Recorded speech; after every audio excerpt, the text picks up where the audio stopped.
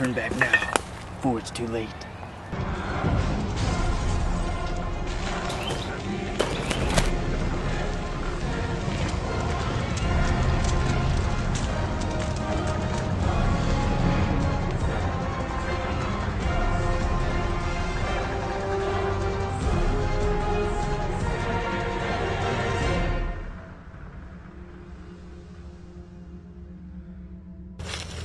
I've been waiting for you.